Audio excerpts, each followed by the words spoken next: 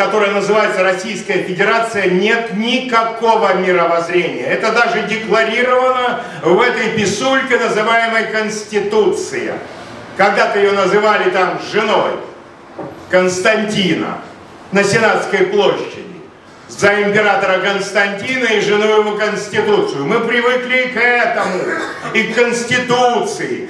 И некоторые люди говорят, что эта Конституция плохая, она не дает развернуться Путину, который на самом деле прекрасный и хороший управитель. Если его убрать, то все развалится. Да и так все уже развалилось. Развалилось, в стране хаос. Это чудо, что мы существуем в единых еще границах. За счет чего? За счет жадности и страха. Но это не мировоззрение. Мировоззрение рождается кровью человека, его исконной природой. Придумали там разнообразные иудеи, психологи, психиатры название архетип. А это кровь человека. Наша кровь когда-то была перепрограммирована, э, но не полностью, в 988 году крещением Руси, и в итоге была создана империя, но она оказалась непрочной и развалилась ударами тех, кто боролся с православием. И вот теперь когда нет мировоззрения, Кремль взял мировоззрение православия. А православие говорит, смирись, Нагорная проповедь. И получается, я говорю, нет у них мировоззрения, а у них есть мировоззрение. Священники выходят, говорят, на все воля Божья, и эта воля Божья говорит, что надо терпеть, терпеть, подставить левую щеку, но если Путин крестится, он должен подставить нам, русскому национальному фронту, свою левую щеку, потому что мы ударим по правой и говорим, что ты делаешь. Он этого не делает, значит, что это? Ложь. А кто тогда лжет? РПЦ? Нет. Потому что, повторяю, миром этим, в котором мы живем, правит жадность и страх.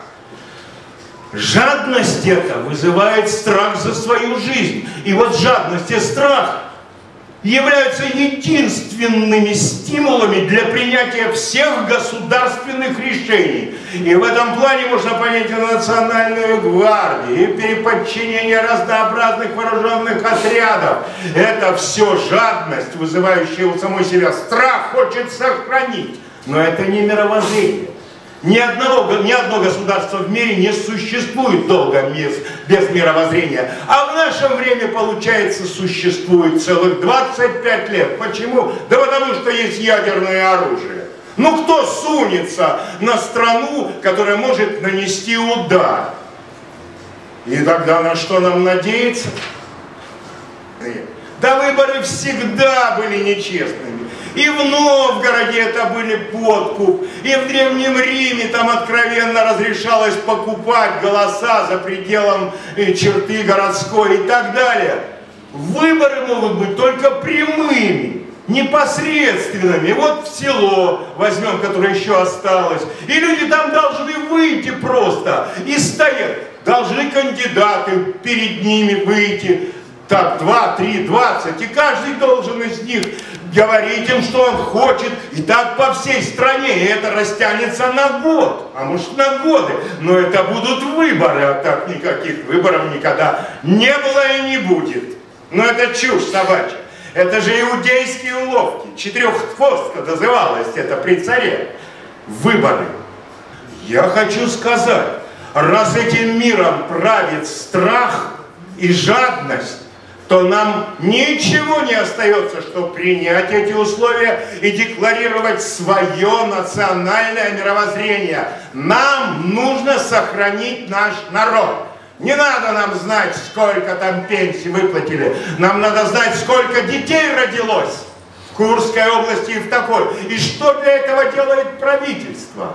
Дает ли оно квартиры, дает ли оно деньги э, матерям и так далее? Нет этой власти, а вы сами знаете, чья это власть. Вы сами знаете, чья это власть. Ей не нужен русский народ, ей нужно население. Потому что будущее этой власти – корпорация. А корпорация – порождение мегаполиса. А мегаполис – это чрево сатаны, то есть банка. Иудеи сами говорят об этом, пишут сейчас книги. Мы варицев отняли Бога, отняли монарха и дали им банк. Значит, сейчас все меры правительства сводятся к тому, чтобы сохранить банковскую систему. И только банковскую систему. А где банк существует? В мегаполисе, за счет кредита и так далее. Но это все можно объяснять долго. Я могу час рассказывать об этом. Но главное я хочу здесь сейчас предложить. Мне надоело плакаться. 22 года или больше я сражаюсь с этой гидрой. Но я пришел к одному выводу. Мы живем в управляемом мире, тотально управляемом. Такого возможного ресурса управлять массой, сознанием не было ни у Гитлера, ни у Сталина, ни у Муссолини, ни у фараонов, ни у кого. Телевидение и интернет и тотальный контроль. Вот эти вот мобильные телефоны, эти гаджеты. И это химическая продукция, я имею в виду продукты питания, которые не дают развернуться голодному мору, который был у нас в Поволжье или был искусственно устроен. Подкормят публику химическими продуктами. Что нам делать в этом управляемом мире? Принять и участвовать в выборах президента этой рафы. Попытаться при помощи этого консолидировать людей. Может быть, они нас услышат. Ведь наше несчастье, что нас лишили связи с народом, вот это управление. И я предлагаю президенту, или Савельев, или я, ну, наверное, Савельев, он моложе, и мы консолидируемся, и пойдем, и, может быть, хоть кто-то нас услышит, но надо быть откровенными, ходить под статьей тогда, ну, когда разрешат пропаганду. Я думаю, могут даже и пропустить нас через фильтры разные. И тогда мы выйдем со своим русистским мировоззрением, в котором сливается и народный, и национальный социализм, исконно русский, ибо мы народ общинный. Мы всегда русаки были в общине, и глупец Столыпин, который стал ее разрушать, потому что капитулировал перед долларом и золотым рублем, введенным в империи. И это оказалось наоборот – очень медвежья услуга для всего русского народа. И вот мы должны свой русизм сказать, что вера разделяет, потому что разве можно сейчас верить патриарху Кириллу, когда он выполняет партийное задание?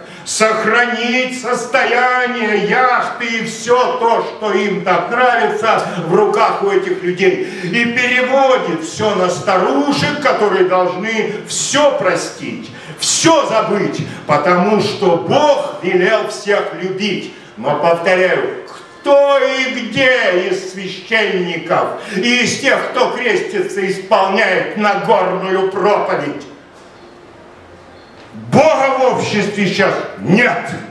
Это фикция.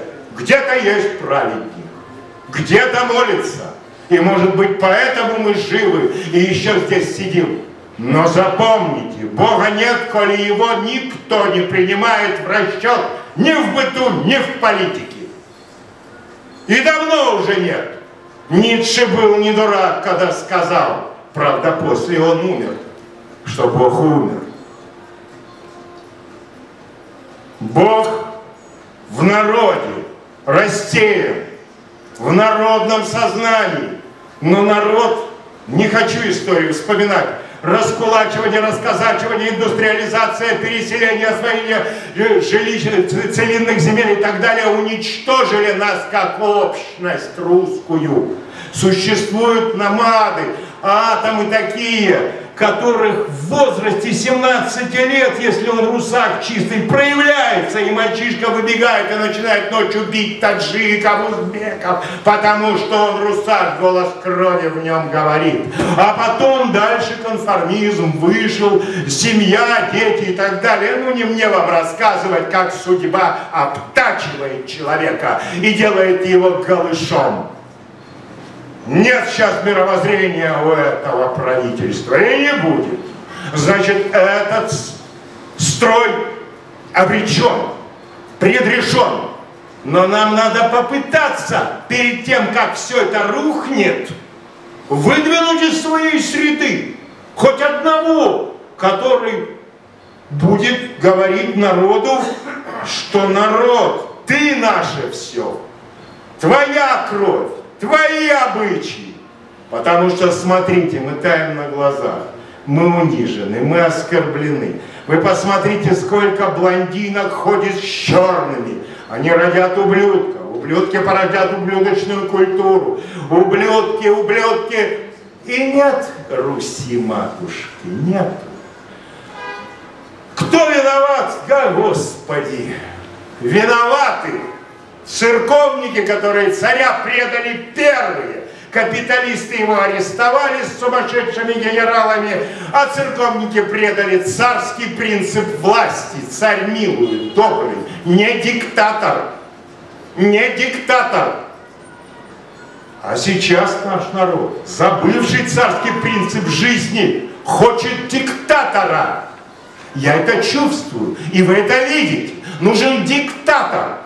Но лучше русский диктатор, чем какой-то иной. А для этого примем эти дьявольские правила и зарегистрируем нашего представителя Русского национального фронта в президенты, начнем готовиться к этому, и как раз это, кажется, в 2018 году.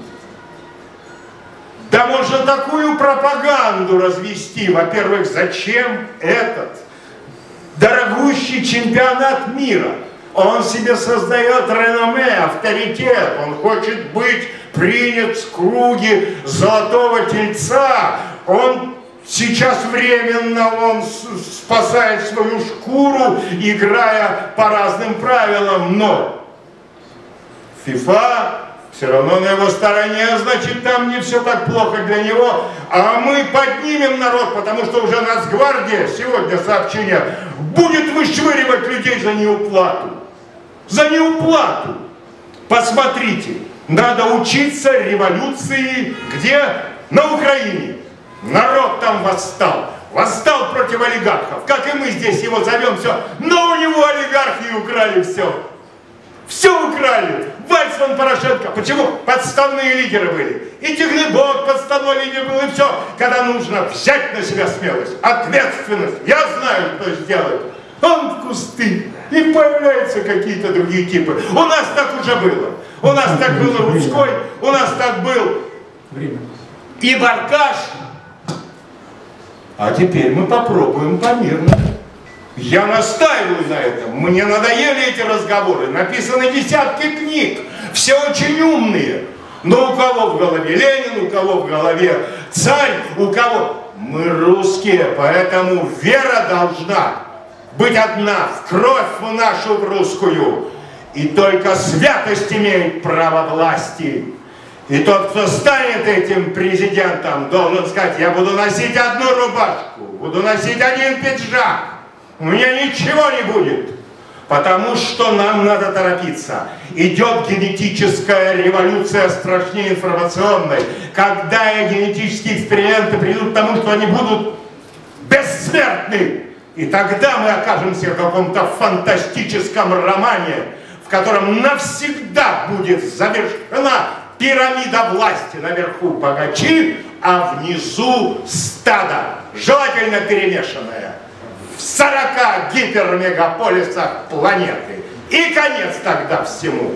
И тогда мы заплачем, но будет поздно. Поэтому давайте примем участие в этих подлых, в этих очень запутанных президентских выборах соберемся, кто все здесь есть и приходят на наши конференции, и выдвинем и создадим штаб, и дадим им бой, потому что мы уже знаем, как выдвигался там этот и Ивашов, и Миронов. У нас есть уже опыты, мы уже так просто не сдадимся. Поверьте мне, я в этом уверен, и поэтому скажу, что русская диктатура лучше той, которая сейчас.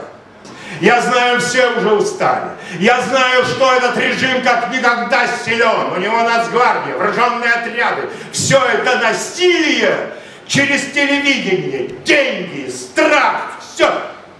Но это все равно, процитирую, стена гнилая.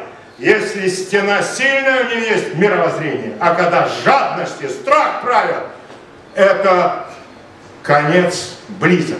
Но мы все позорно погиб. Я не хочу позорно погибать. Посмотрите, мы уже Азиопа. Мы уже все, Москвабад. И патриарх говорит, мусульмане наши братья. Какие они братья? У них был лже-пророк. Напечатано было при царе. Как это так? Мы терпим эту ложь. До каких пор? Я говорю, для чего темперамента? Чтобы вы поддержали эту мысль из Русского национального фронта выдвинем кандидата в президенты и доведем его до выборов. Один говорит. Все.